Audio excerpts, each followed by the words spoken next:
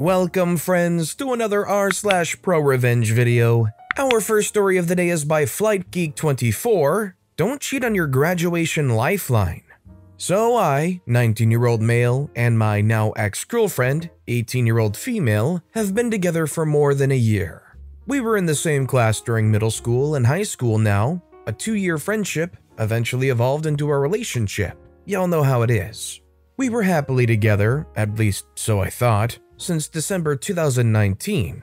I thought everything was great between us the whole time, although recently, about March, I noticed her becoming very distant and barely writing first, dry texting, etc.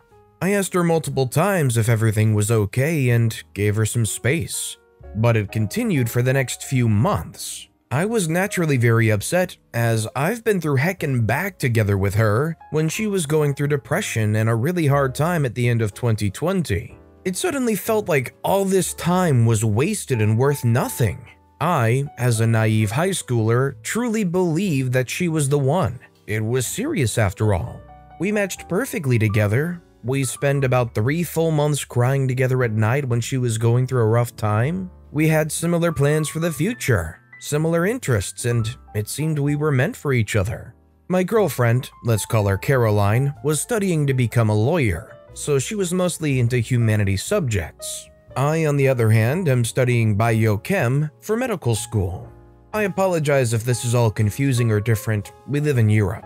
She was required to attend at least one science subject to graduate physics, biology, chemistry, or psychology. She always hated these subjects and just took them because they were necessary to graduate. She ended up picking chemistry, as I was a natural and tutored 9 and 10th graders in chemistry in my free time, and I always helped her with assignments, etc. It started as helping her before exams and assignments so she could get a good pass grade, and after her rough time, warped into me writing half of the assignments for her. In February, she started to do everything with me again though we had online the whole time. Anyways, enough backstory. After noticing Caroline started to get distant and she never properly answered my questions regarding her behavior, I wanted to see how far it would go. For one week, I didn't invite her, call her, or text her first. In a total of one week, she had called me three times. Twice to ask me about her assignment, and once telling me how she felt insecure and bad. I'm not a jerk, I helped her out with her school stuff and comforted her when she felt down. Me being the naive, love is perfect lovebird I am, chalked it up to her feeling depressed again but feeling embarrassed about it. I continued helping and comforting her for the next month until nothing changed and she never opened up. I was honestly doubting everything by then. Is it me? What am I doing wrong? Etc. I tried everything I could, Eventually, I asked her friends if something happened, but they said she was the same as always towards them. I knew something was up, but I didn't know what it was yet. One day when she came over to my place, it was only the second time she did that in March, usually she came at least twice a week. We were sitting in my room and talking while she was trying out Valorant. After she went to my kitchen to make herself something, I hear a notification from her phone.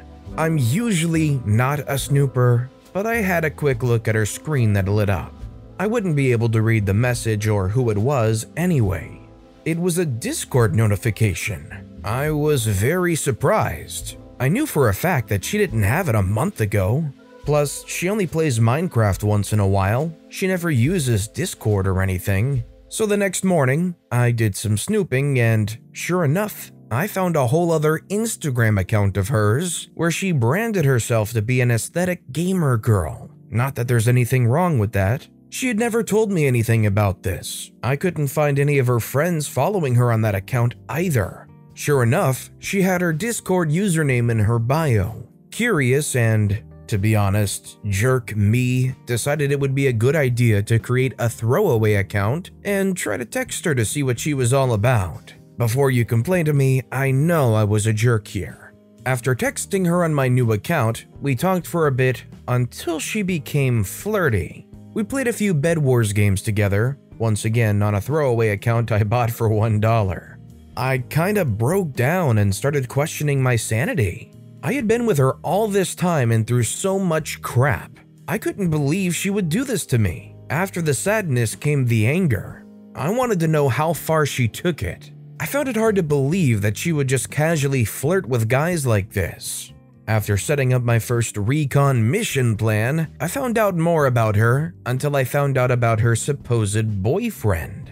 At that point, I had a huge emotional breakdown, and I felt like I've wasted so much time helping someone who would betray me like this. From her stories, I would later find out they were sleeping with each other for a whole month by now, starting about when her behavior started to change. At this point, I started hatching my revenge plan. I know I would not let her off the hook this easily. I spent two weeks pulling all nighters making sure I had all my work done till the end of the year, until graduation. I spend all my remaining time creating fake chemistry textbook pages so I could make my pro revenge more believable. All of the information was wrong. I knew I had to give her a taste of her own medicine, betray her like she had me.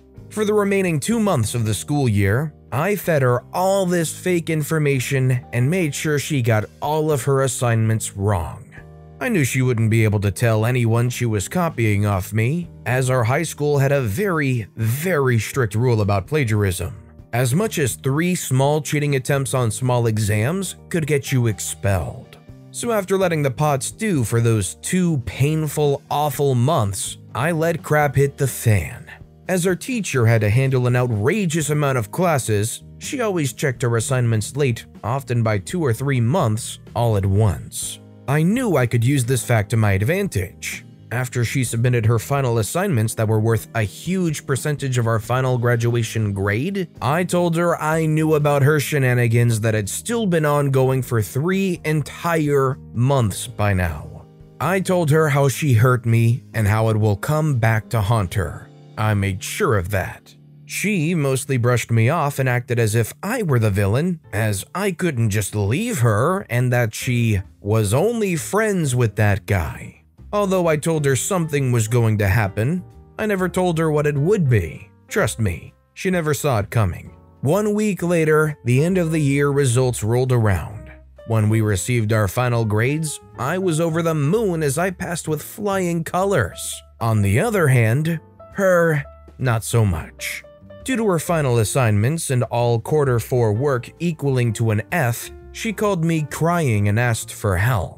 She told me she wouldn't be able to graduate if she wouldn't receive at least a passing grade for this year. She told me our teacher gave her a final chance after telling her how disappointed she was.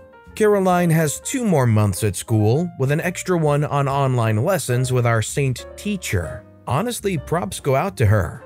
To be honest, I felt really bad for her and her situation, knowing very well if she doesn't work her butt off in these two months in a subject she hated, she would have to repeat the last year without someone constantly helping her with her chem. That compassion quickly went away, and I told her I would help her, but only if she apologized and paid me my regular tutoring fees. Caroline went full on ballistic after that and screamed at me, how could I do this to her? I hung up and she called me a few seconds later, apologizing and agreeing to pay me for my help. She now has two months of intense memorizing with her ex if she wants to graduate. What a weird situation for all that to end up in. I feel like if I was in a situation like that where somebody was so backstabbing, I wouldn't want to spend two months trying to help them even if I'm getting paid for it. What about you guys? If this happened to you, would you be willing to overlook that and go through with spending all this time tutoring them just because you're getting paid for it? Let me know in the comments down below. This next story is by Disair. Block my driveway? Have fun with my dog's poop?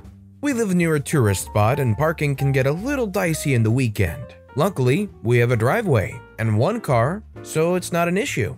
Saturday, my husband had to pick me up from work. When we returned, we found our driveway was blocked by another car. We're pretty close to our neighbors, and it wasn't one of their cars, so we were at a loss whose it was. We were annoyed, but not terribly inconvenienced since there was parking in front of our house. So we call the city Turns out, if you're not blocked in your driveway, then they won't tow. Parking enforcement deals with those issues and they don't work on weekends. I love pranks, so I took matters into my own hands. It's time to pick up the dog poop, and I tie each of the bags to the door handles, double knotted so you can't just pull off the bags. I don't have enough poop, so I had to get some from my neighbor's house. I'm dedicated. We open the windows and quietly go about our business. The driver returns with their friend four hours later. The poop bags have been hanging in the sun. It smells rank. We hear the driver absolutely appalled at the bags. Then they try to rationalize blocking our driveway. They checked. It didn't seem like a big deal, you know. Nothing that excuses blocking a driveway. The driver looks to their friend who then says, That seems fair. Friend took the bags and driver went on their way. That driver will think twice next time they come visit. I just like to imagine that OP went over to their neighbor's house without talking to them, and the neighbor just like looks in their backyard and sees their neighbor picking up dog poop, just watching them collect it into a bag, and they're like, What? And our final story of the day is by Tubist61 Nice Snickers Bar? A number of years ago, I was a paramedic in the UK. At the time, there were not many of us qualified, in fact, my PIN was in double digits, showing how early I qualified. At the ambulance station I worked at, we had a food thief, and he had a thing about Snickers bars. I used to like my Snickers bars from the refrigerator, so the caramel was chewy, just a texture thing. The problem was, if I left one there and got a job, I could guarantee it would be gone when I got back. I hatched a plan. As a paramedic, I carried syringes and hypodermic needles. I also had a bottle of 2 million Scoville hot pepper sauce in my locker. We had a good idea who the thief was, but no actual proof. But here I was working the same shift as him. A job came in and he went out on it.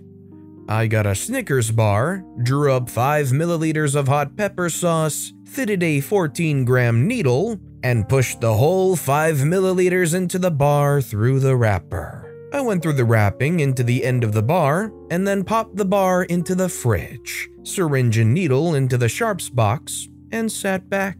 Not long after, I got a call to a job and away I went. A while later, I came back to the base and was met by another crew member telling me the guy we suspected of stealing food was in the toilets being sick, and could I have a look at him? When I went in, he was crouched over the toilet, red faced and sweating with streaming eyes. I asked what was going on, and he said he thought he had food poisoning. Full of mock concern, I ran up tests on him temperature, BP, blood glucose, and a 12 lead ECG. Of course, all was fine, so I quizzed him on his symptoms burning sensation in his mouth, running eyes, and sweating. I said I couldn't find anything wrong with him, but could he have been eating anything irritant by any chance? He looked at me to see me holding the pepper sauce bottle. You could see the light come on as he realized what had happened. There was a burst of cheering from the other crews watching as they realized what had gone on. It was the last time any food went missing. Now, let me ask you guys something. Is it morally wrong that OP did this? Knowing full well that somebody is going to go ahead and steal your food, is it morally justifiable to spike it in any way? In this case, with hot sauce. Let me know what you think. But with that being said, that's all the time we have for today. So if you have a favorite story of the day, let me know which story and why in the comments down below. But besides that, if you enjoyed the video, please consider giving it a like, and if you haven't, subscribe and turn notifications on so you'll never miss an upcoming video. No matter what you do, whether it's just viewing the video, liking, subscribing, turning notifications on, I appreciate the heck out of it. Every little thing that you do helps the channel grow that much more, and I can't thank you enough for it. So, until next time, I hope you all have a wonderful day, and I'll be right here next time on the Storytime channel.